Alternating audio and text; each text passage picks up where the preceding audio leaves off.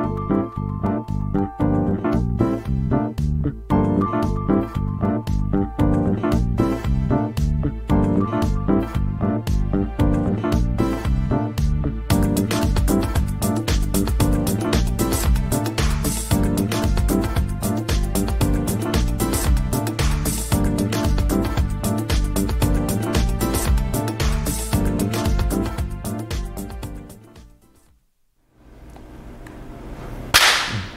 What's up, everyone? Welcome to Simulation. I'm your host, Allen Saakyen. Super excited to be talking about influencing the global brain. We have Sterling Cooley joining us on the show. Hello, brother. Hey, how's it going, man? Good to see you. Super excited for this Yeah. episode. It's finally happening. Totally. Yeah, we greatly appreciate all of the love that you've been passing along to Simulation. So many of our friends have been on the show. Yeah. You've been sharing those shows. Now it's time to feature you. It's exciting. So pumped. For those that don't know Sterling's background, Sterling Cooley is a thought leader and pioneer in the use of ultrasound to modulate neural activity in the human brain and nervous system.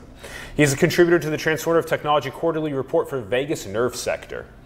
He also runs the fastest growing community on vagus nerve stimulation and repair. His other interests are in bringing a neuroscientific understanding to how the modern corporation operates to increase well being, productivity, and human thriving within the organization. And you can find the links in the bio below to sterlingcooley.com as well as the Facebook group. That's facebook.com forward slash groups forward slash the Vagus Nerve. So do check that out. Join that group. Awesome. Sterling, let's start things off with one of our favorite questions to ask our guests. What are your thoughts on the direction of our world? Um, that's a great question. Um, I think a lot of people are a little bit more pessimistic than they need to be. Uh, I think we have to have a framing of optimism because that's the only way we can find really good solutions. And we have to be curious enough to be receptive for the answers. So I, I think while it might seem really chaotic, the, the flow of history is actually probably going in a good direction. What are what are the most pressing things that you think we need to embody in order to make sure we're not just another collapsed civilization? Um, well, I think we need to realize that the whole planet is together.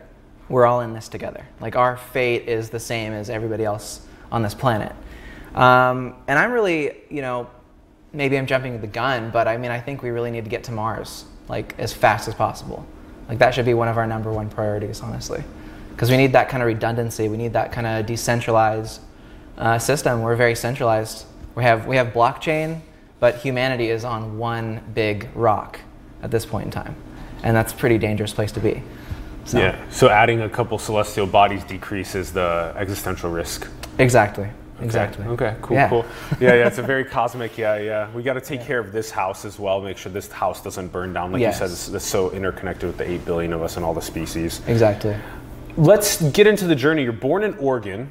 Mm-hmm. How did you pick up your interests in neuroscience, consciousness, field as you're growing up? Um, well, I was a bit of a loner growing up. Um, I was hugely into just being on the internet, not really getting into the gossip at school or anything like that. And I just was like a sponge. So I think I happened upon some show called Coast to Coast AM with like George Noory, which was like an old like AM, FM, or an AM radio show. And they had the weirdest guests on, and I would sit sit at home in middle school and just listen to these people. And then I heard one person, uh, Stuart Hameroff, who's a MD at, um, in Arizona, and he was talking about microtubules and consciousness and this incredible stuff. And I was like, this is amazing. There's just something about it just struck a nerve for me. And I couldn't really do anything because I was like 13, 14 at the time, but I kind of set it aside in my back of my brain. And then when I was about 23, I was like, what's Stuart Hameroff up to? And so I Googled and I realized he was doing some incredible neuromodulation using mm-hmm. ultrasound. Mm-hmm. And I was like, this is it. Like, I knew it back then when he was talking about microtubules, even though I didn't know what they were really. And then I, I read about the, the new ultra, ultrasound stuff and I was like, this is definitely going to be the future. And what are microtubules? Yeah, microtubules are basically the cytoskeletal scaffolding in all of your cells. So what makes your cells not just amorphous blobs and able to hold a shape that's like long neurons? It's entirely dependent mostly on microtubules, which extend out like these big straws. And uh, Stuart Hameroff found out that these tubulin that make it up are like these self-assembling particles, or, uh, or their proteins. And they, they may be able to process information individually. Hmm. So, so people think of a neuron as like the central node of, a, of an information processing system. He discovered that it might actually be like the strands inside of it, the microtubules, that can calculate really complex information. So, So microtubules act as scaffolding within cells to make them have a shape. Yeah. Uh, okay. Yeah. And and to, to be able to hold all of the interior complexity of the of the cell. Interesting. And. Yeah. they're made of proteins. The scaffolding, the microtubules are protein. They're made of proteins. yeah, so they're tubulin that, that like arrange uh, by themselves and they can extend or shrink. And in, uh, in your cortex, you have these big pyramidal cells, which are like tons of microtubules that are, that are steady for most of your life. And they kind of act as like information processing centers. And so it's a really new theory. It's been around for about 30 years now, but it's a really cool theory. And then the same, similar um, with cells uh, for the rest of our body, as our neuronal cells have microtubules as well. Yeah, every cell in your body has As microtubules. Okay. Some of them are more seemingly specialized in the brain Oh yeah. in terms yeah. of how they're arranged. Yeah. Yeah. Okay, and then um, okay, so then at 23, when you were like, okay, neuromodulation, Mm-hmm. I'm really interested in this. Then yeah, teacher, take us from that part of the journey. Yeah, so uh, I essentially just I essentially just dove in headfirst, not really knowing what I was getting myself into. And I was like, okay, this is it. And, and I've started I started my first business at 18. So I was like, there's got to be some opportunity in here. And it turns out that there was. And te- essentially, there's a huge gap in terms of people who are able to bring really smart uh, ultrasound physicists to the space of clinical uh, applications to actually provide the hardware to research this uh, work. So there's a big gap that I was able to just fill, really because of luck. Really was just a, a good timing in the market, and I saw an opportunity. And so I was able to essentially provide the, the, some of the equipment, the ultrasound, to fill the gap in clinical neuroscience. So it put me right in the fray in like, you know, working with Jay Sanguinetti, uh, Stuart Hameroff, uh, Jamie Tyler, who's, who ran Thync for a while. Um, you know, so it just put me in this cent- central location to work with these amazing people in neuroscience and, and engineering. Um, and so it really took off from there. Within 12 months, I was already in China, like manufacturing ultrasound. So it was a, it was a pretty wild, fast, fast meteoric rise. And that was with Berkeley Ultrasound. That was with Berkeley Ultrasound. Okay, yeah. okay. And prior to that, you were doing um, ID Tech camps. This Yeah. is, you were uh, lead instructing some C++ programming. Mm-hmm. Okay.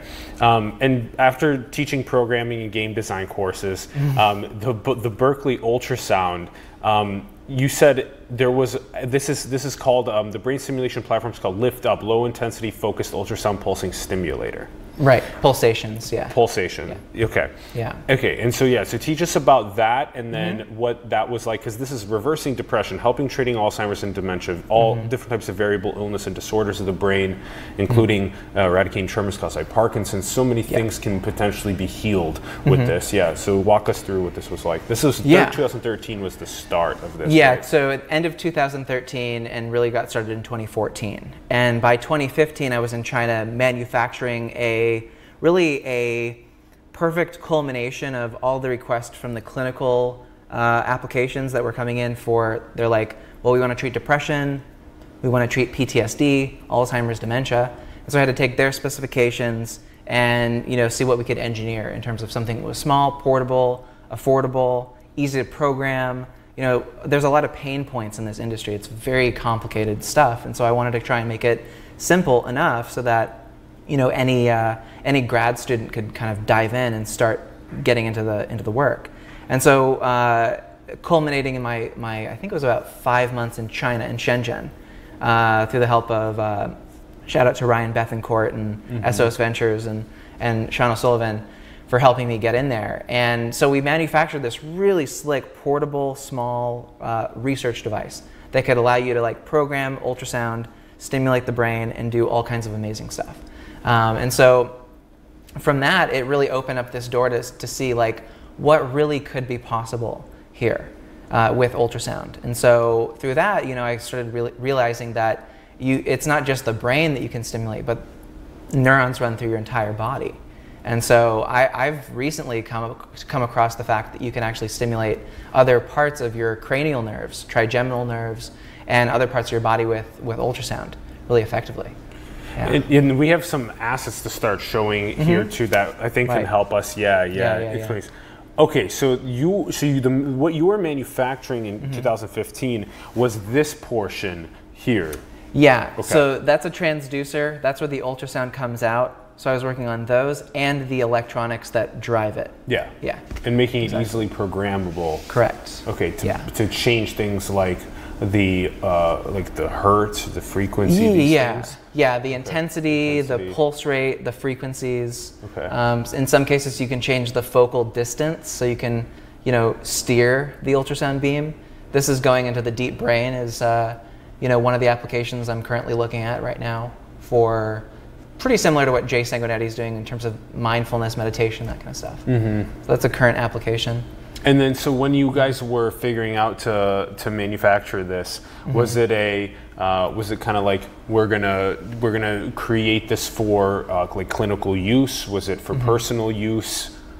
Uh, clinical use. Yeah, clinical, use. yeah. yeah. And then um, uh, to eradicate some of the ailments that we have with our health. Yeah. That was kind of the thing. Yeah. Okay. And it, it, it all started originally in the temporal window, so right here, so really above your temple, right above your eyes, on your forehead, kind of. And so that was to treat uh, depression that Hmm. starts in the prefrontal cortex. There's this weird um, uh, desynchronization that happens. So your two lobes, your left and your right, will start uh, pulsing at different frequencies. And that's a, that's a big indicator of depression, actually. So the original usage of ultrasound was to try and regulate the both hemispheres to, to synchronize at the same time in the alpha band. And that was uh, some work kind of pioneered by John Allen, Dr. John Allen in, uh, in Arizona as well. So he's, a, he's like the mentor to Jay Sanguinetti. And so that's really where it started with Stuart Hameroff and, and all those people. And so then the distribution of this um, through Berkeley Ultrasound ended Mm-hmm. up getting into the hands of some. You guys ended up manufacturing, getting into clinics. Yeah, yeah. So mostly in Tucson, and you know, or kind of some clinics around the world. Cool. In small, limited applications, because there's a lot of you know, there's a lot of uh, issues with the FDA, and Totally, it's you know, totally. it's, it's a it's a very advanced. It's on the very edge of research. So there's a lot of you know, there's a lot of work that needs to be done still. Yeah to, Yeah. to make sure that we're not harming people by accident. That Yeah, the- exactly. the technology is yeah exactly what we yeah. Mm-hmm, say it's going to be doing. Yeah, all that kind of stuff that it's tested properly. Yeah, Yeah, yeah. yeah, yeah. So then that was that was five years of doing that. Yeah, Okay, and then um, we have yeah. So that's additional- another example of what Mm-hmm. that would look like.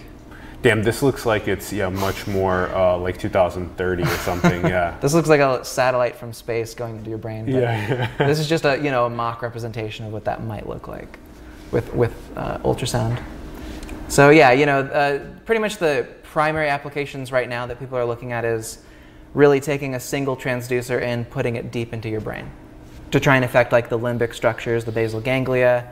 Um, some of that work is around um, you know your ego, your sense of self, rumination, which are things that really contribute to depression like your sense of you know are you good are you good enough do you are you you know so part of this is to try and turn that down a little bit to try and make somebody somebody's lived experience a little bit more comfortable mm-hmm. so that's kind of the current application that a lot of people are looking at mm-hmm, yeah Yeah.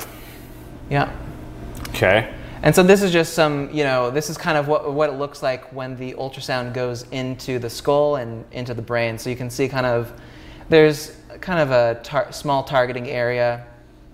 Uh, it's called sonication. And uh, yeah, so this is, this is some pioneering work on, on how to stimulate the brain using ultrasound. Damn. So it's a lot of that. Uh, the the rumination on if I'm good enough. Mm-hmm. That's usually what gets. You said it's the left and right temporal lobes are not in synchrony, and that's Yeah, in, in, in some cases, yeah, that's that's seemingly what uh, John Allen discovered. Um, and so if we look at this one, it's a little bit cut off on the edges, but um, some of the Bring some of the in. work. We'll bring it in right now. Oh, yeah. okay, cool. Yeah. mhm. So some of the work, so the original work was uh, hitting the prefrontal cortex with ultrasound to try and regulate the left and right part of the prefrontal cortex. But now the, the search is actually deeper into the limbic system. So it's essentially looking at, you know, uh, regulating people who don't feel safe or feeling unloved or feeling bad emotions, these kinds of things. So really regulating like stress and fight or flight response. Um, so people can feel kind of I guess, better in their body to feel more centered and more grounded.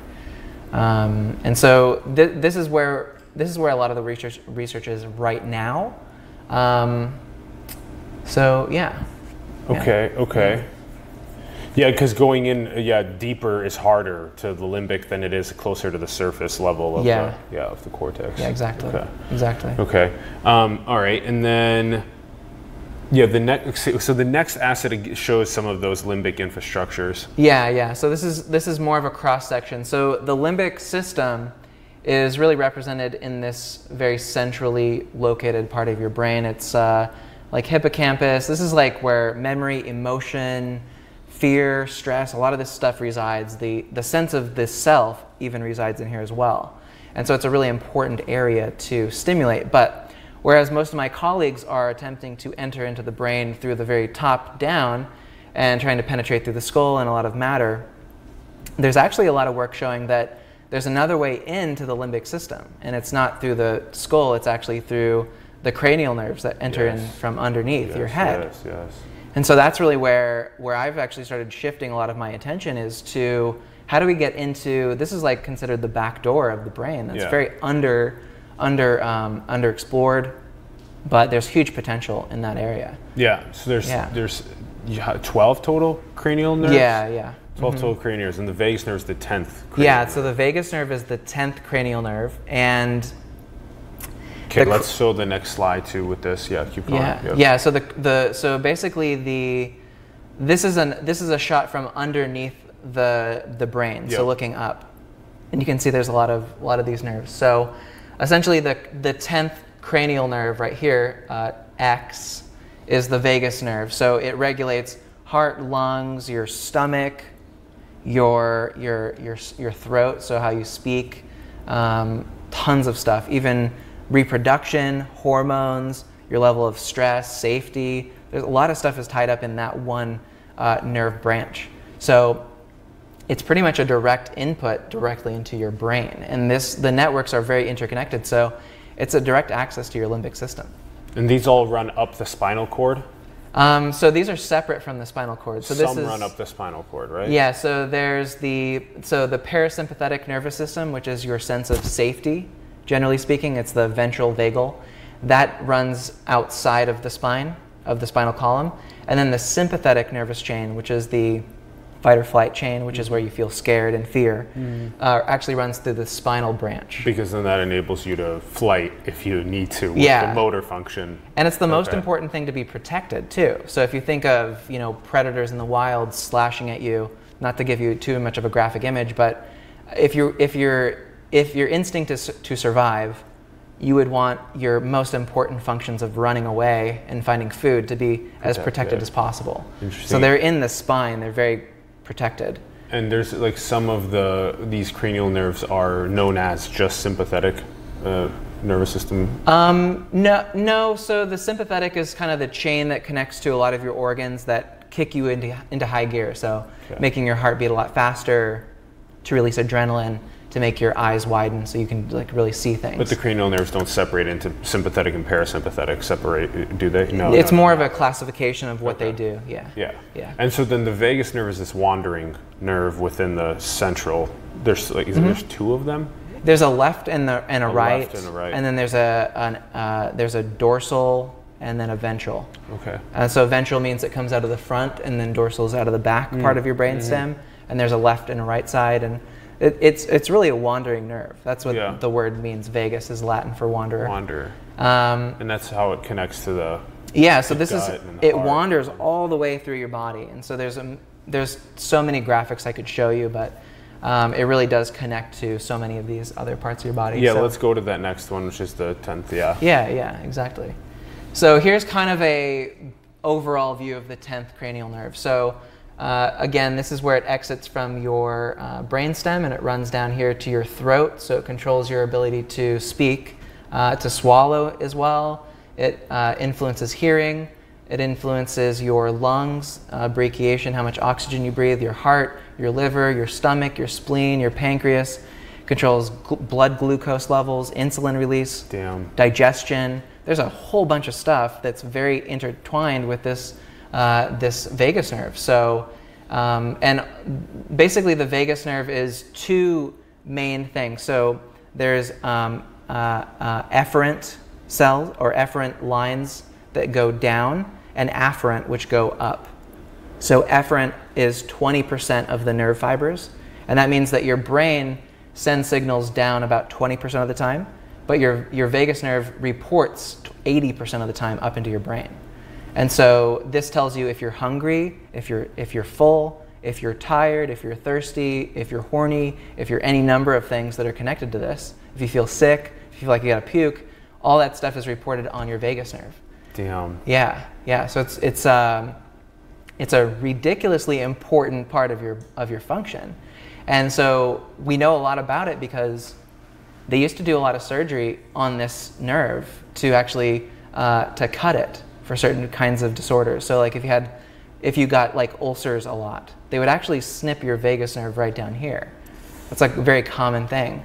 But what they found is that in the in the populations in Scandinavia that actually had this surgical procedure done to, to snip their vagus nerve from the stomach um, down, uh, that they had a way fewer incidences of Parkinson's disease. And some people are like, well, what's going on with that? And they found out that most likely Parkinson's starts in your stomach Mm. and then it travels up your vagus nerve into your brain. Whoa. Yeah. So for, it's really important. It's a really important nerve. So you got to really take care of it. So, the, so, so, so much of what's going on in our bodies, uh, organ systems, are actually being communicated up. So our brain only becomes aware of them because the organs are communicating it through the vagus nerve up to the brain, Exactly. and then we make our next decision based on on that feeling that we're getting. Yeah, yeah. So it's super important for, and and one of the other things was in terms of, so there can be like surgical accidents, or for whatever reason, a car accident where it gets severed a little bit closer to the head. And this is the one of the interesting things is that they found that people who had a severed vagus nerve higher up had a way higher incidence of schizophrenia. Mm-hmm. So it means that the, the brain is essentially waiting for input from the vagus nerve. It's not getting anything and it's hallucinating inputs. And that's, that's possibly a reason why you know, people can hallucinate when they have you know, schizophrenia. Damn. Some dysfunction of the vagus nerve. I'm excited to talk about uh, stimulating this as well. Let's Yeah, do, totally. Let's do um, the factors affecting breathing, which is the next one. Yeah, so um, so for a lot of people watching, you might be like, how do I stimulate my vagus nerve? It's, it's actually really pretty easy. Um, breathing with your diaphragm. So you can take deep breaths like. That's kind of a starter way to do it. And then another way is to breathe in and hold. And this is called the Valsalva maneuver. And you actually squeeze in your chest and you kind of do this squeezing method right here in your, your chest cavity, here with your diaphragm, and then you slow exhale. And so what that's actually doing is it's, it's in a way pinching the part of your vagus nerve down here that runs through your diaphragm that holds your lungs uh, in and out. So that's like a very easy way to stimulate your vagus nerve. I, I really recommend that for most people who just want to see like what it's like uh, to get started. Um, Do you think it has something to do with the amount of oxygen that we take in that stimulates our body through a like a much deeper breath and then we hold it in Yes. and then we're giving it more time to absorb rather than the immediate like shallow breaths. Definitely. The, the oxygenation is really key. Um, so, and yeah, it, it's a very interconnected system. So, more breathing expands your uh, bronchi in your, in your lungs, and your vagus nerve runs through that, so it's getting stimulated. It releases more acetylcholine, which helps downregulate inflammation, downregulate uh, stress response to things. So, overall, it's a really good thing. But yes, so oxygenation is really good, a good part of it. And I think people just need to breathe more. People are just, if you look at them, they're just like, like they're hypertensive, not breathing, and that causes all kinds of issues. Yeah. Ah, oh, yeah, yeah, Yeah, the deep connection of breath. Yeah. Yeah. Yep. Yeah, yeah, yeah. Okay. Mm-hmm. All right.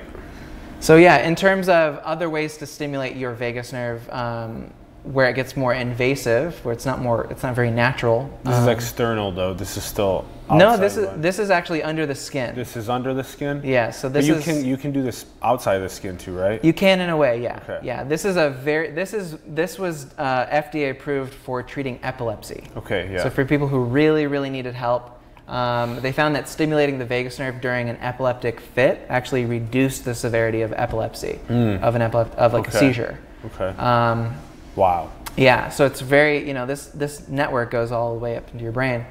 So um, yeah, so essentially there are, I don't know, probably about forty to fifty thousand people walking around with this implanted in their body Already. Already, Damn. yeah. And, there's like how many millions of people have epilepsy around the world? Something like that. it's well, I mean, I think it's like one hundred twenty thousand that Around could oh, potentially have this. Oh, yeah. okay, okay. It's not Yeah. that. Okay. It's not it, that that would be the I've looked at the market size for this and it's closer to about 120,000, maybe a little bit closer to 200,000 worldwide. Okay. Something like that. So it's a it's a relatively small market in terms of people who are able to have this implanted. Um, but I mean, this is kind of a first step in terms of like I think transhumanism. Like this is directly modifying a very important part of your neurology.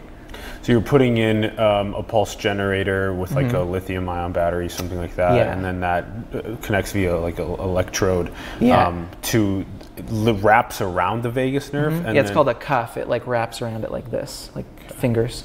Yeah. And then it only activates when is it like a remote activation when I'm fe- when I'm having an epileptic episode? I I stimulate. You have a watch on Yeah. that has a magnet and you run it across. Wow. It's under your skin, and so you can run it across. So if you feel like you're having it, then you can activate it. wow, that's so go for about a transhuman. minute. Yeah. yeah. Yeah. So you can on demand stimulate your vagus nerve. Wow. And so the odd thing about this was that even though some people, it worked really, really well. So it's very, very uh, good procedure in the, for the most part. But people who even they didn't have any reduction in epilepsy noticed that like their major depressive disorder actually went away Hmm. after about six weeks of having this installed. So that got people to wonder, could the vagus nerve be related to depression also? Yeah, yeah. And so through a lot of research, they did clinical trials, and they found that for people who don't have epilepsy but have major depressive disorder, like treatment-resistant depression, essentially, um, that it actually helps treat depression very well. So the FDA approved it for that as well now. So this can this can treat depression and epilepsy, and eating disorders. Now they're they're doing this this for because the vagus nerve regulates your sense of uh, satiation, hunger. It's all it's all in there. There's a lot of important stuff in there. I'm curious um, as to this being uh, a like an, an like an appendage, like a physical appendage that we bring from from outside that to solve kind of what is a what could be viewed as like a second order like symptom of of like what is a, like a first principled uh, disconnection from like nature. Like Yeah. something yeah. So yeah yeah yeah yeah. I get what you're saying. you get what I'm saying yeah. So what do you, what are your thoughts about that?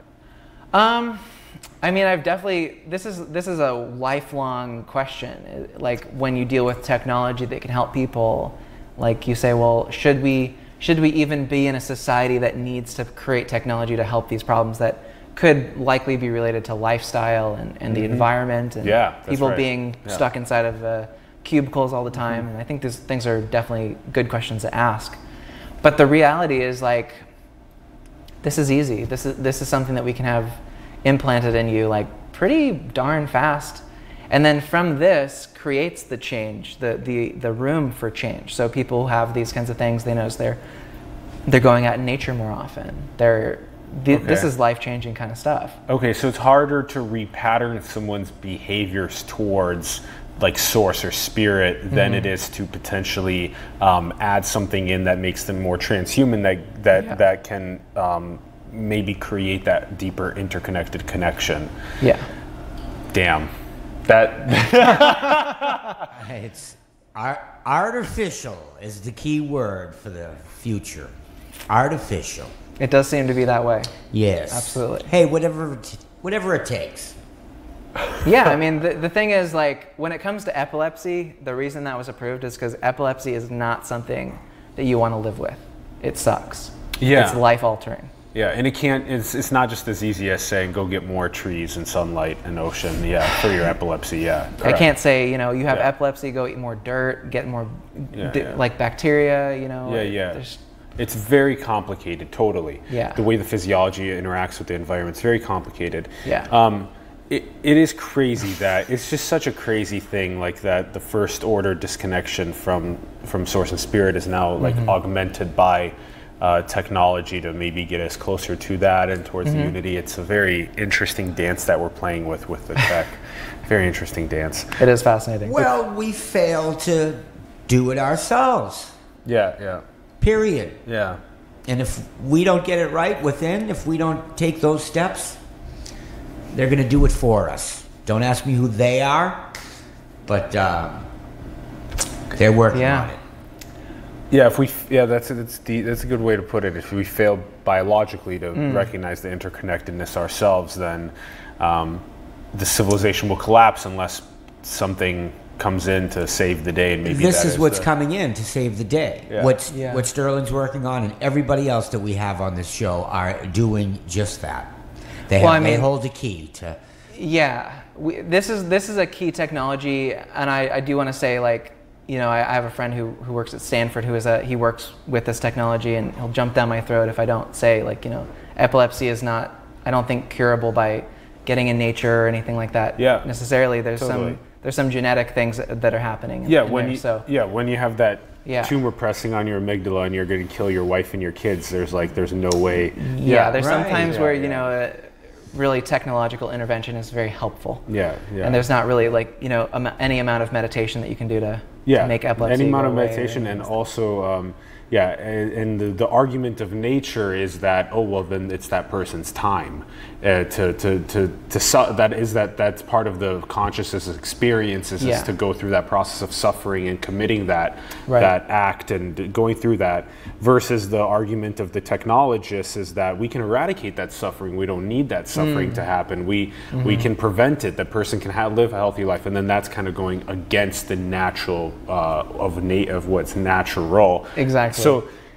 it's a very interesting complicated conversation that we've been having the last like couple weeks especially about like the role of indigenous Mm-hmm. wisdom and the role of technology yeah, it's true. It's Yeah. uh, it's hard to say. I mean, I- you know, I think we'll get th- into this later, but we're, we're part of this big superorganism, Yeah. and we're all trying to find an optimal path forward. So s- some people will try an optimal path that doesn't end up working, and some people will try the path that does work. And so we're all, like I said, we're all in this together. This is all a big Yeah. global superorganism system, and this is part of it.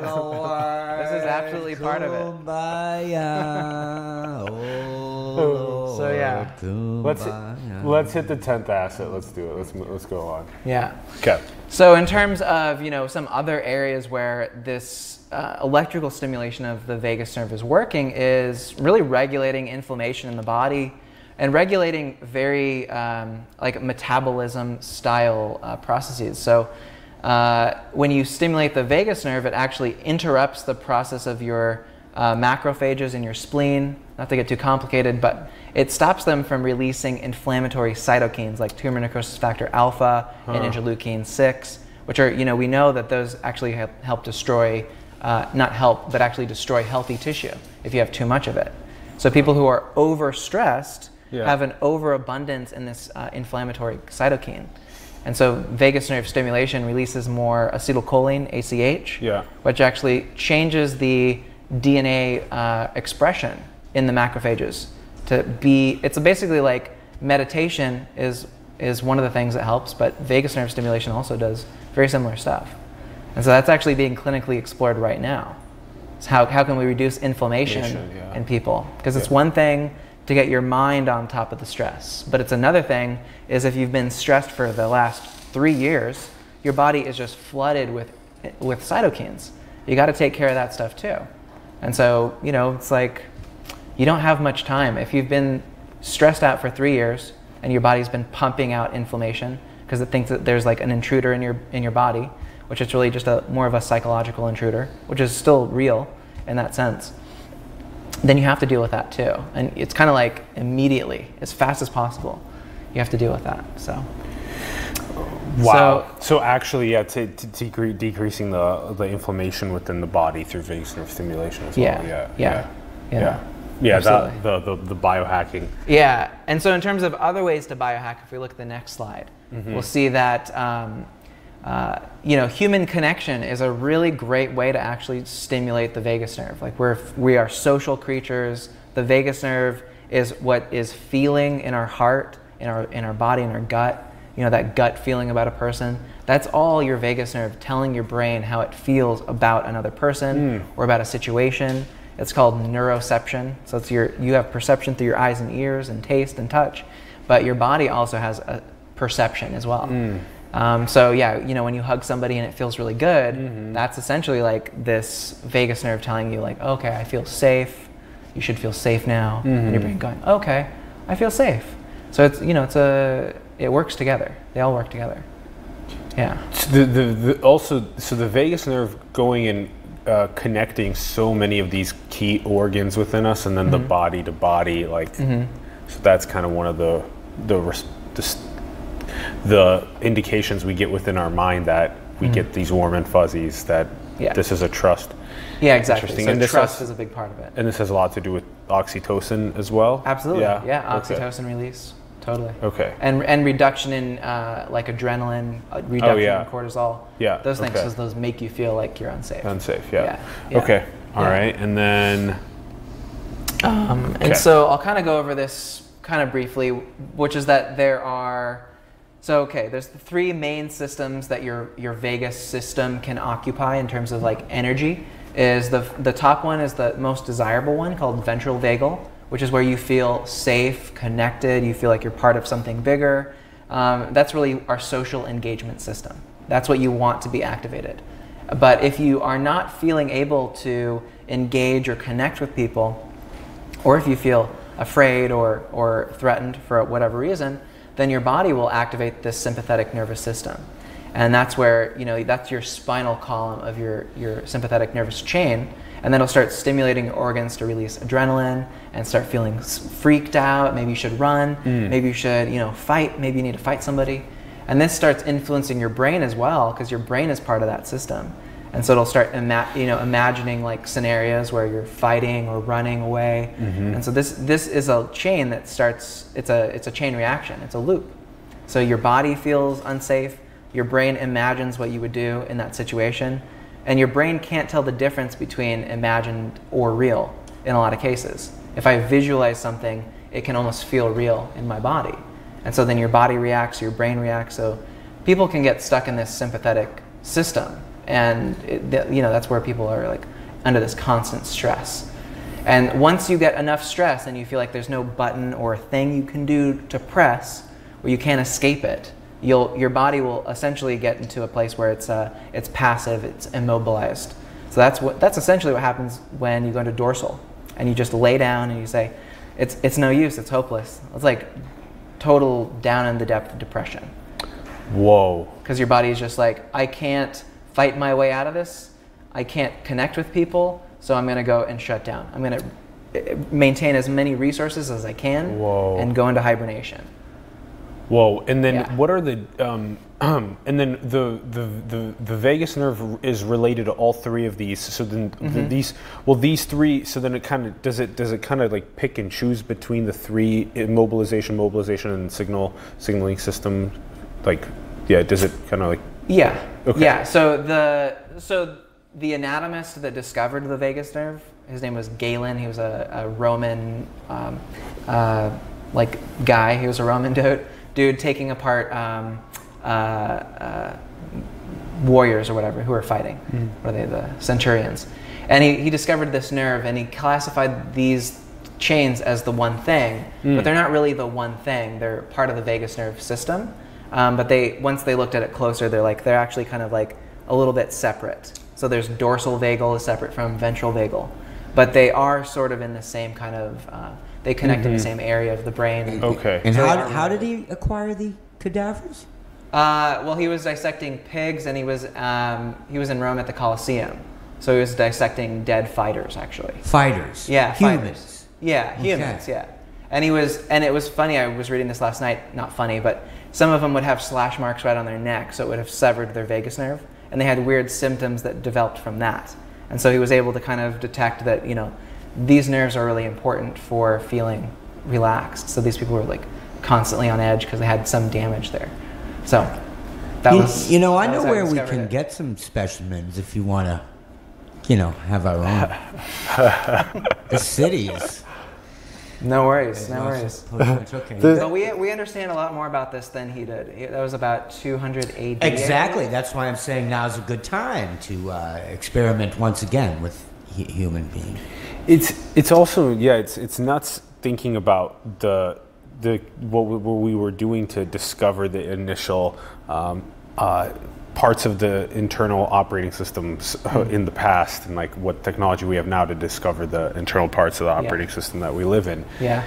This is this. I feel like we ebb and flow between the different states here so frequently. Right. Yeah. Yeah. Yeah. So your body basically is in one of these at either time for the most part, but there is one where, so if you, for instance, are activating dorsal and ventral, you can have this really intense feeling of safety with another person. That's very Mm-hmm. Yeah. visceral. Yeah. And so you can actually activate ventral and dorsal at the same time. Yeah. And that's a really coveted, uh, kind of coveted thing. And then you can also do. Uh, That's maybe when you're in love or something. that's when you're in like deep, deep mad love with somebody. Okay. Yeah. Yeah. That's like the that's like the the pinnacle of what your system can provide, pretty much. yeah. Yeah.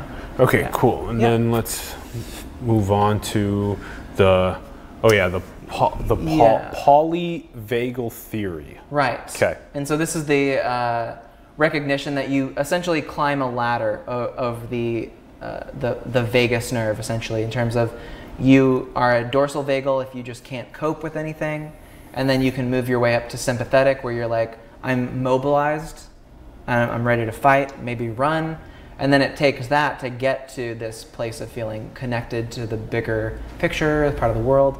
And these are these are kind of like growing out of our uh, our uh, evolutionary history as well. So there's the reptilian brain, then that's like fighting and flight uh, and fighting, and then there's the cortex, which is more of the ventral vagal. The the ventral vagus, the the vagus that runs that activates when you're in love, is a very is a very new structure. It's more of a mammalian structure rather than like an old antiquated um, uh, reptilian thing.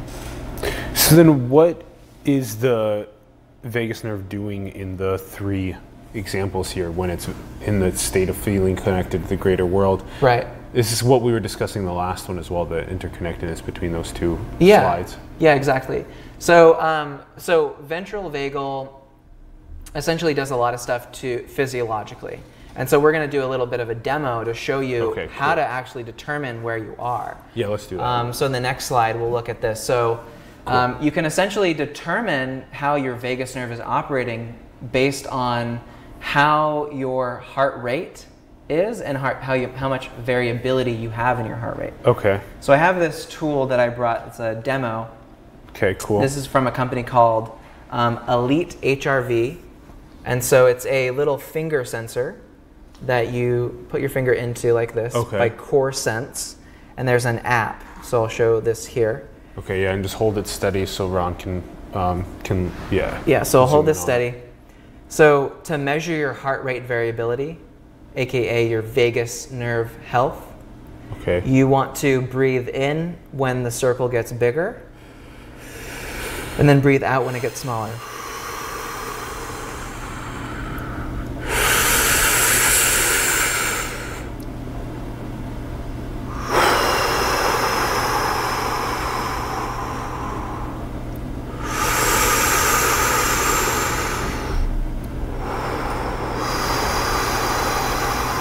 Do we need to click start too? Um, no, it's no. no, it's, it's, auto sensing it. it's auto sensing it now. And so basically, my variability score is about 55, 57. Okay.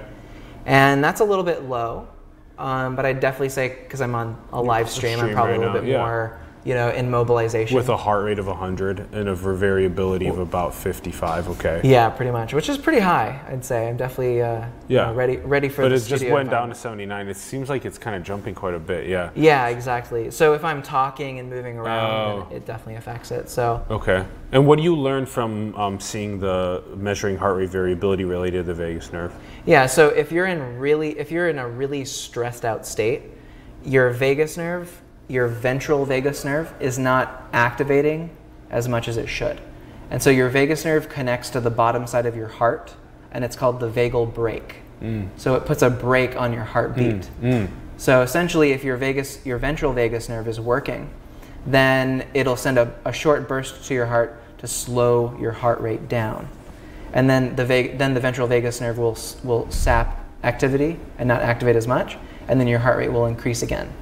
So in people who are hypertensive, what's gonna, what you're going to see is that there's no variability at all, which means that their ventral vagal system, their, their social engagement system, is just not working at all. It's just not activating. So it means that they're probably in, uh, in sympathetic nervous chain activation, meaning that they're like they're in fight or flight. And so that's what you would see. So you'd see like pretty much a flat line across here, and this variability number might be down like to 13 or 20 or something for like really hypertensive people. And that means you're in a state of like your sympathetic nervous system, your fight or flight, your yeah. Panic. yeah, panic. Yeah. Uh, when your heart rate variability is just barely Right. varied at all. Yes. And like r- super relaxed is super varied. Yes, yeah. So you, if you're relaxed, your heartbeat should should sound like a jazz song. So it should be like dum dum dum dum bum bum bum bum bum bum bum bum. Uh, So it, it goes faster and slower with your breathing. yeah. So when you breathe in, your heart rate increases, and when you breathe out, that's when your vagus nerve, your ventral vagus nerve, slows your heart rate down. So it's slower, and then it, the the chain continues like that. And so that's a good sign. You you want to have that. So you can do it for yourself at home. If you can measure your heartbeat, you can take your finger fingers and put it on your pulse on your Yeah, wrist. yeah, yeah. Or even Or- yeah, I was just feeling it right here, even. Yeah. Just- just- in your yeah. in your throat here, Yeah. or right here, this spot right here, this soft spot. Your heart's just below that. And so if you breathe in, your heart rate will increase, and then it should slow down. You might even skip a beat if you're really relaxed, actually. Yeah. Yeah. Yeah. So, um, so that's great. That's heart rate variability. So important to be able to feel our, our heartbeat. Yeah. Yeah, and it so is, so in terms of you know that's kind of what that looks like. And so if we go to the next slide, the company Elite HRV released some data on 24,764 users of this same technology. Mm-hmm. And what you'll notice is that it's it's a bell curve distribution. Mm-hmm. And you know the average is about pretty much where I was. I'm about 55 during this interview. Normally I'm about 67, 70, you know, if I'm just sitting or whatever. And so what I've what I've noticed from this is that um, people influence each other. So Yeah. we have a social engagement system. So I'm pinging you, you're pinging me. Yeah. We're influencing each other in terms of stress level because Yeah. we look to our nearest neighbor to see is there something we should be afraid of. Yeah. It's kind of like the global brain, my, like mass uh, psychology, uh, you know, the mob mentality. Yeah. So we're all pinging each other. So what this shows for me, what I read out of this is that we're all kind of globally influencing each other's heart rate variability. You know, Yeah, it- it would be weird if we saw like a like a dumbbell kind of distribution where it was like one population down here and one population down here. Yeah, yeah. Um, you might see that if you compared like somewhere in, in a war-torn country versus like the the affluent West. Sure, sure. You you might see this big distribution. Yeah, yeah, yeah. But it's this kind of localized area Yeah. for heart rate variability. And so what that says to me is that local populations influence their own level of stress, either up or down. And so that's kind of this idea that, you know, we, we think of our brain as the node in the network, but our vagus nerve is kind of a social network node that, that remembers people in some way. It can it has kind of have a, has a storage system of like these are triggers that make me feel upset or scared, or these are things that make me feel safe. And so these are kind of things that um, that are re- re- like relegated to the vagus nerve. So that's what that's this is the, what this shows me. Yeah. You, and like uh, like like you're you're giving this perspective of the um, of being able to um, think about things like a, a global brain and the way that you know we are engaging with each other right now when we can like butterfly effect um, our like states of happiness or stress onto each other. Yeah. um, and how uh, that affects our heart rate variability. You can see it like on a global scale. Um, areas that are maybe more relaxed are higher heart, higher heart rate variabilities and Exactly. more stressed on lower heart rate variabilities Yeah. so if you can influence other people around you to towards relaxed states, joyful states, Mm-hmm. etc., then that's these are the big things we can do with spreading memes of that style as well. Um, Exactly. yeah, using Yeah. neurotech tools to get us further towards the relaxed states. Yeah, yeah, yeah. And so this is kind of like people talk about raising consciousness, high, like the upward spiral. This is kind of an indication that, you know, I guess maybe if we measured this 100 years ago, uh, we didn't have the technology to do that, but it probably would have been lower. Probably would have been a lower HRV. And I don't know for, for sure, but I think in the future, as people start kind of engaging more socially, connecting, feeling safer, feeling more optimistic, more creative, more curious, that the HRV of the globe will actually start inching up. And so that'll be kind of an indicator of global uh, health. Like the, men- the, the mental health of the entire planet could be represented with this one number potentially. yeah. Yeah. Whoa. Yeah. Do you think the mental health of the planet could be represented with the HRV score? Potentially, yeah. Wow. Yeah. Because yeah, I mean, if, if your HRV is low, there's a lot of other things that are happening. Yeah, yeah. High inflammation, high stress, more apt to like be, maybe be violent, to act out, those kinds of things. Um, but if you're more creative, you're more able to solve problems, and we need problem solvers Mm-hmm, rather than people complaining about the existing order. I mean, we need we literally need people who are able to get into flow state, able to kind of tap into some source, some Yeah. creativity, and really think of big solutions to the problems we have today. Mm-hmm. It's not going to come from like being stressed, you know, this kind Mm-hmm.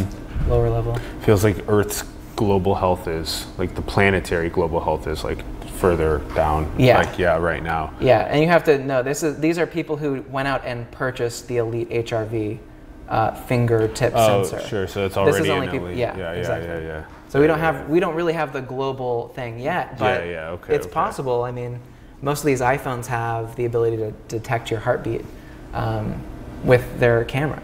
Yeah, so it's correct. possible Their that in the facial future- recognition. Yeah, Yeah, the yeah. facial recognition apps. You know, there's a there's a big ecosystem that can be coming. Yeah. Yeah. Um, and so, so this is this is another thing. I just want to touch on this cool factor, which is there's a lot of really impressive things that can happen for your brain if you stimulate your vagus nerve, either through breathing, through exercise. Um, cold showers work really well. Yeah. Uh, like you know, you can take a cold shower, take a cold plunge, Mm-hmm. cryotherapy. Those kinds of things are really good for stimulating this to ventral vagal. But one thing that I found recently was an article showing that um, vagus nerve stimulation increases BDNF, which is a Mm-hmm. basically a growth hormone for neurons. And this is a big indication in people who are uh, suffering from depression, is they have a huge decrease in BDNF, brain-derived neurotrophic factor. So if you stimulate your vagus nerve, BDNF will go up, and more neurons will start growing in your hippocampus, which is where you know uh, short episodic memory resides. Um, and uh, neuroplasticity anywhere in your brain is pretty much a good thing. So um, if we go to the next slide, there's some actual pictures. Um, so on the left is uh, colored DCX uh, cells, which are related to microtubules, actually. And on the right is just sham stimulation. So this just shows that if you do v, uh, VNS stimulation, you can have really uh, positive uh, growth of important neurons in your hippocampus. And then if we go to the next one, um, we can see that. So this is actually the VNS. That's the sham. It's, it's Okay. switched. Okay. But you see more uh, BDNF cells. So actually a pretty pretty big rise. And this is, um, Okay. I believe, uh, just shortly after, and then after. I think this is after three weeks of stimulation every day. Okay. Oh, every day. Every day. Okay, yeah. okay, Yeah. okay. Yeah, yeah. So it's um, you know, it's not just like neck down; it's also neck up. Yeah, So there's a lot of good stuff that happens in your head Yeah. as well. So And this is this is transcranial This is actually where is with this? uh, electrodes implanted in your neck. Okay, Yeah. implanted in. Yeah. So within the, with that little the little. Uh, yeah, yeah, but for this is on rats.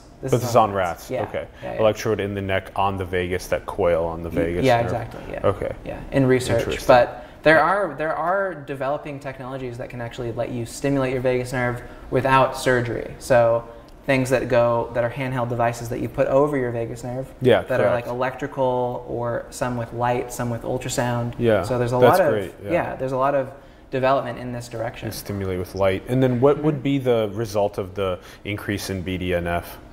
Um, yeah, so uh, basically, BD, BDNF would make you more resilient, more uh, more able to respond appropriately to new situations. So more neuroplasticity means you're able to learn from your mistakes better. Okay. Um, it's really you know antidepressants basically grow uh, BDNF in the brain, Okay. makes you smarter, Okay. gives you better memory. Yeah. Um, so yeah. And the last one is. Yeah, this was this was the animated gift that we Yeah. never- So this is just this is just a filler slide I wanted to throw in, but it kind of points to kind of where I see this all going, which is that um, you know I think we're we're coming up to a future where we have an increase in machine learning, artificial intelligence, EEG, brain stimulation. There's so much going on that's in these different pathways Yeah. that I'm really starting to see this desire to merge this stuff together. And so I have this kind of unique position to, to see where this is going, to have been in it for so long. And Yeah. so essentially, the future over the next probably five to 10 years will be developing a real time brain stimulation system that is multi channel. So it'll be like different channels of ultrasound all over your brain instead of one big targeting thing. Yeah. It's tiny little ultrasound things. Yeah. Yeah. Uh, adjacent to EEG. Yeah. So reading the brain and stimulating the brain. Yes. Putting it into a machine learning algorithm, seeing your brain in real time from the machine and stimulating it in real time. Yes. Almost like a self-driving car. So you think of like the Mobileye system That's pretty crazy. in a in a Tesla, it's like Yeah. an auto driving, essentially just but powering the brain. So that's Re- kind of reading through EEG and then having M- ML algo figure out how you want to stimulate to get you and yourself into a flow state or into Mm-hmm. wherever you want to go, and then just i mean, the amount of control that we have at that point Yeah. is like, it's insane. yeah, So probably where it'll start is uh, taking a re- pr- taking a recording of your brain in one five minute segment, and then telling the machine to figure out how to make that happen again by driving it. So it's like d- just doing a recording of somebody driving down the freeway, and taking in the data, training it, and then saying, okay, now we're taking off the training wheels, and we want you to try and drive that brain activity to look like how it looked like before. So that's kind of the future. That's kind of the short-term future. Um, but then, long-term, 50 years from now, this will be all you know integrated in your head. But probably in about 10, 15 years, this will become. So we have six layers of the human cortex. And these are what makes us human, basically. The cortex is like our human part of our brain. This will become the seventh layer of the cortex. yeah, yeah. Yeah, just a little, just an extra cortical layer that's upgradable. Because you can't upgrade your cortex because you can't expand your brain, you can't get your skull. We can't do that yet. Maybe we can do stem cell injections to grow your cortex bigger or something, make it more dense. But this is upgradable, so you can you can put more NVIDIA graphics cards out here, Yeah. and that that all connects and powers the machine learning algorithm. Yeah. And so these, these will actually co-develop with each other. So your brain will learn that it's actually being influenced externally. And so your brain will start to figure out how to do it. You think that we're going to end up uh, wearing um, the seventh layer at our, you know, organizations and in our homes, and that will certain people will choose to not wear it and just be left behind, or what will? Yeah, what's the? I think it'll be common in brainstorming sessions. So if you really need to like, you know, put on your thinking cap, this will literally be the epitome of a thinking cap. So it'd probably be executive board meetings where they're like, okay, we really need to think this, you know, because the, the rapid pace in which decisions need to be made. Like no mind wandering. You have to f- super focus, super creative, super flow, Super super on. empathy. Yeah. Yeah. So this will be like Jeff Bezos will be like contracting us and be like, okay, I need I need the thinking cap. We'll have a mobile van that goes to his office, or you know, maybe they'll have these in every executive suite at the top of every building, something like that. So it'll be like a thinking room, a 30 minute thinking room that you go like at the sales top of the Salesforce tower. they'll have a neuroscience lab where executives take an elevator up, sit for 30 minutes, process immense amounts of data, and then go take a nap and uh, spit out their answers after that. Something like that. That's probably where this is going. Ron? This reminds me, I need to change my name to uh, 11 10 1966 BR 2 59 12. I mean, it's not. It's um, we're already doing that if you think of it. Like our cell phones, it our cell phones act as an external processing Sure, yeah, layer. yeah. So you know, this is just just an extension of that. this reminds this reminds me too that some of the thoughts about the indigenous um, are that just like little brother, be careful with the way that you play with the the godlike technology because the civilization could collapse from Yeah. your thinking that you know everything and that you're gonna Did they say could or will? That's. Could. Are you sure they said could? Well, we're already at risk of, of who knows. I mean, who knows what's going to happen in the next 50 years? I mean, I think we just, like I said, I mean, I think the solutions will come from like incredible leaps in in creativity and development, and, and I think this, I think we do kind of at this point need some help because we, it, it's almost like there is an element of humans versus the machine in one way, but it's like we do need to develop with machines as well. We are going to need to kind of get their help. So this is kind of how I see potentially this is how it will help us, not be against us. Interesting. So there could Okay. there, there could be the added um, layer of machine intelligence to make sure that the civilization doesn't collapse. Correct. Interesting. Yeah. Yeah. Fair, fair fair point. Yeah. You might have like an oracle class that just kind of sits with these all the time. That like you know the kind of the global, the um, the elite thinking unit. Something like Sure. that. Sure. People who are born. This is getting way out there. This is like way I- super sci-fi shit, but and I don't really. Know, I'm just thinking on my feet. This It's like just- tomorrow in terms of cosmic time. Yeah, it is. It's a blink of an eye in terms of when this could happen. But Yeah. you know, we I think about it like I know people who just spend about eight hours scrolling through Instagram, deciding if this is something worth liking or not. So there's there's computing power in the human collective consciousness that's being I think wasted. Like do we like does Instagram need to know that a celebrity looks good? Heart. Okay, this this girl in a in a bikini looks good. Yeah. It's like we're we're using computing cycles right now. We're we're U- essentially uselessly. Yeah. Yeah. Maybe low, uselessly, With yeah. low utility. Yeah. yeah. Okay. So wearing a one of the neuromodulation caps. Yeah. Yeah. Could. Uh, rocket me into creative flow states rather than be manipulated or deceived by w- things that are distracting me. Right. Mm-hmm. Or I could build up my own repatterning mechanism. So here's the thing: is like, okay, so I think here's where we're getting at. It's that it's that we can take time to repattern our own behaviors towards nature and towards our own self-actualization, collective actualization. Mm-hmm. But is that actually going to come fast enough to avoid some of the civilizational collapse issues we have? Because we can augment ourselves with this to repattern those behaviors quicker to avoid the civilizational collapse and to re- and to connect faster to um, what provides us with with life, our nature, as well as um, some of the creativity. Okay, all right.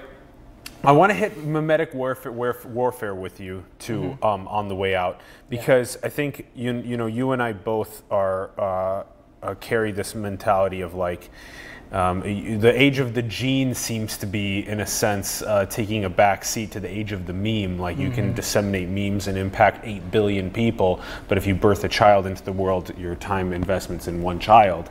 So, what are your thoughts on the memetic warfare age?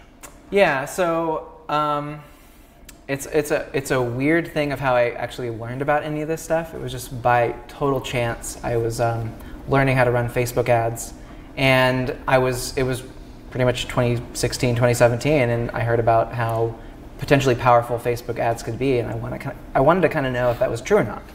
So I started looking into like what does it take to take a meme, some kind of a symbolism, some kind of a message, and rapidly propagate it through social media if you have you know money behind it.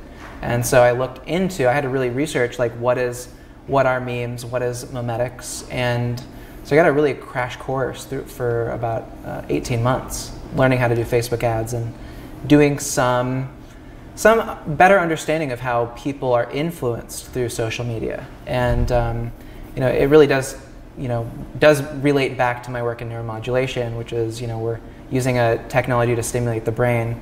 Instagram and Facebook are stimulating people's brains. Yeah. It's like you know if you can't make that connection, it's it is there. So I'm always thinking about what are the implications of you know this is this is a small technology that's going to be in the hands of a very few researchers over the next few years. But what if this gets mainstream? Like what is the what are the implications? And we already have an example, which is social media. It's a machine learning driving a system where you have an input, you have an audience, you put it to their eyes, they give feedback, they, th- you collect data on that.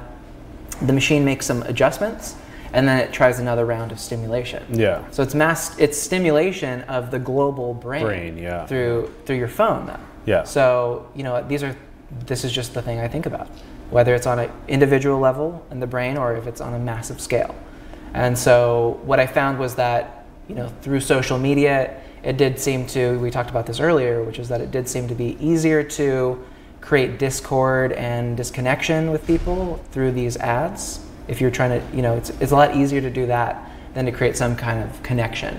It takes a lot more work to connect people than to just be, you know, just throw out a bunch of garbage onto the It's a lot harder to make news feed mm, uh, or, uh, nuanced multivariability within news feeds and uh, empathy and love and than it Right. is to uh, make things that uh, bi- bias people into tribes and um, yeah and uh, Yeah. fear response fear response endorphins versus uh, versus like love and compassion and yeah, unity yeah. Yeah. but then the parallax is also important because then you have actually like uh, uh, ideas that can like build on top of each other um, uh, at times versus just yeah this is kind of another one of the debates between like the like what us is and china is kind of like moving forward with Yeah. um, yeah um, it, I want I, I, also like it, like like re, like regarding influencing the global brain. I feel as though um, we can do it on a on a neuromodulation uh, using neurotechnology basis. These thinking caps, this type of stuff. Um, but when you explain it in terms of just like being um, influenced by even like a news feed or video or these types of things, I think that that deploys to two billion people like that, and I think that's much more uh, relatable. I think also for people that like this is very important that we have figure out how to how to what is the most optimal way to deploy these um, uh, memetics through the news feeds in order for us to maximize our prosperity and not our, our disconnection. Yeah, that's a huge yeah, one. Yeah. definitely. And uh, you know, it's the nature of the viral meme. Is it's uh, it's things that it, it's really this whole sympathetic nervous chain. Is you know, it's it's not a coincidence where I'm learning about how people are affected by something they see, how how they the people are viscerally affected by things they see on the internet. They feel it like as if it's a real threat to their being. And in some cases, you know, on a global political level, there are threats.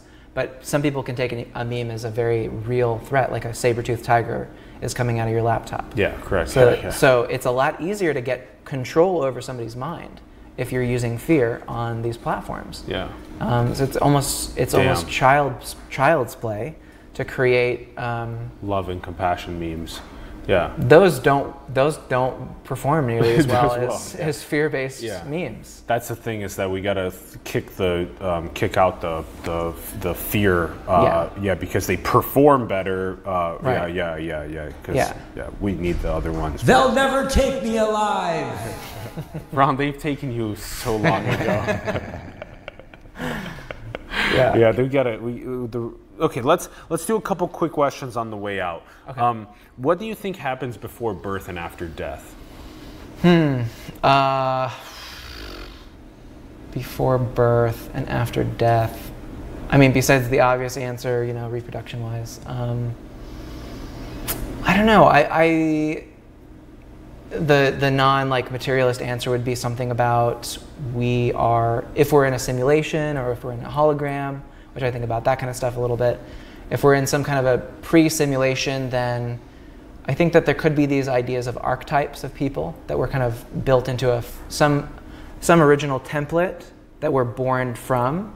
Because I've had times where I've seen people and I've been like, you remind me so much of somebody else that I've met. Uh, this has happened multiple times. Mm-hmm. Totally. Because I met so many people Yeah. through this work, and I'm like, wow, it's like I'm talking to the same person. Yeah. You have the same interests. You have the same look. There's just some part of me that can't ignore that reality. Yeah. So there's something That that, they got loaded from the same Yeah. character archetype. Yeah. right, and there's generally so much variability in the species and in people that you don't no- normally detect it unless Yeah. you're really careful Unless to, to really look for it. And that you met a lot of people. Yeah. Yeah. most people don't meet enough people to, to detect that. Yeah. generally speaking.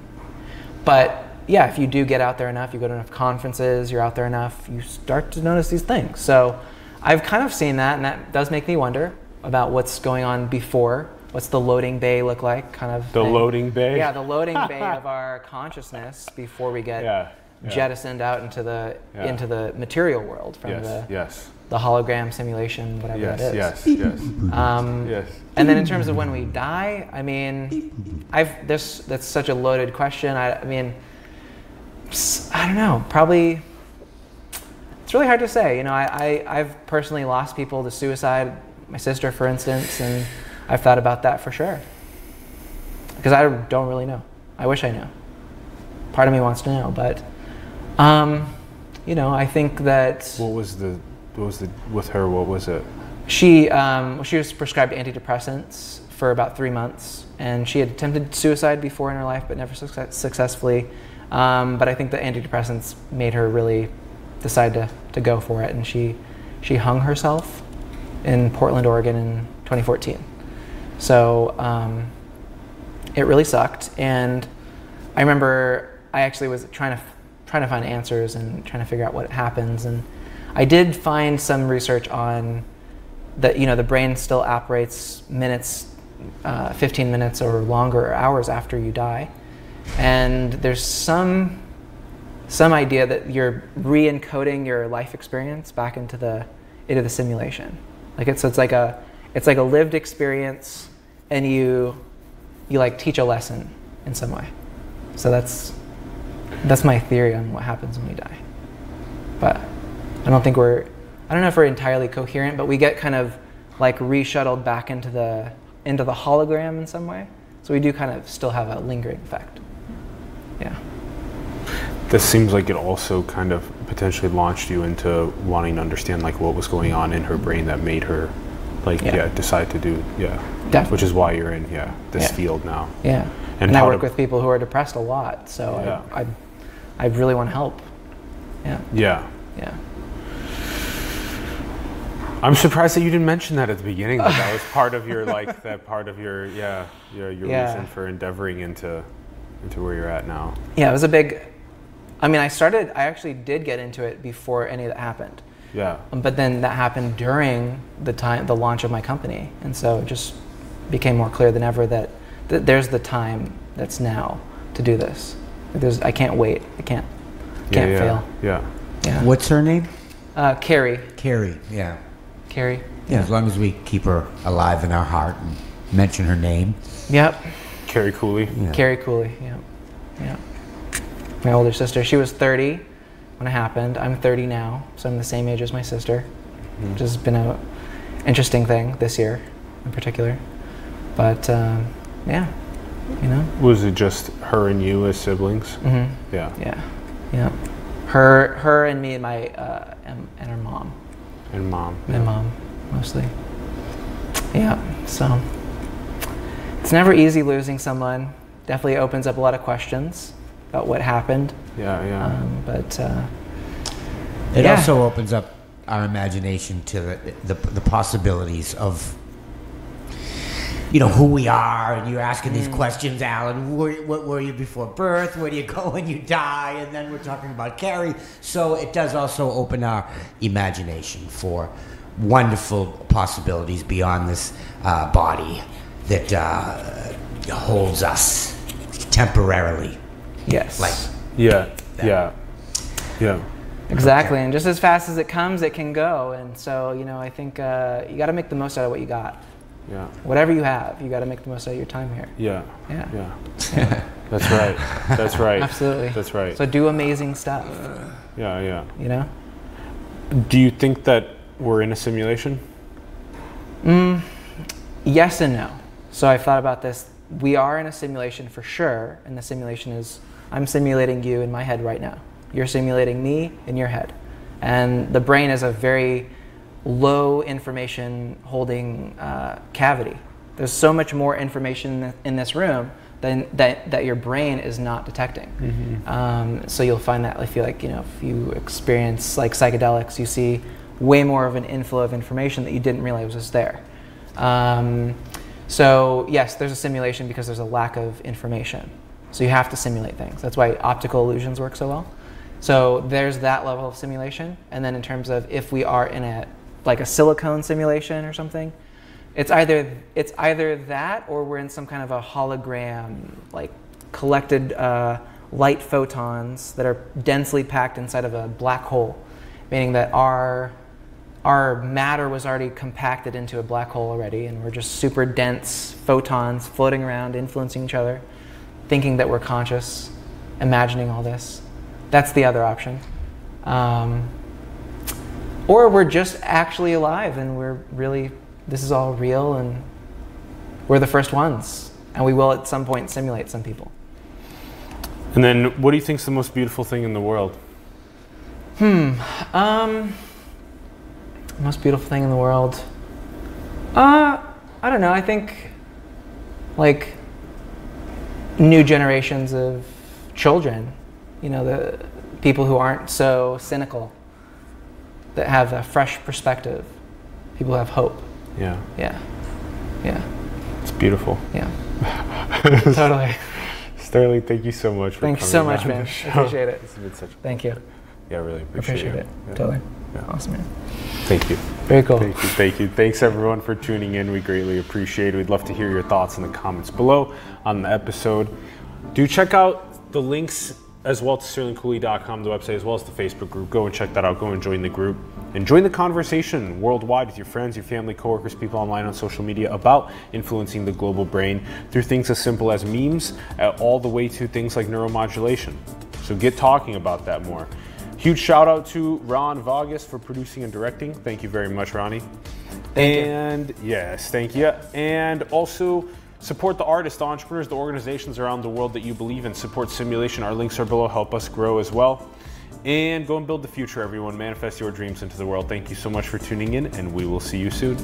Peace.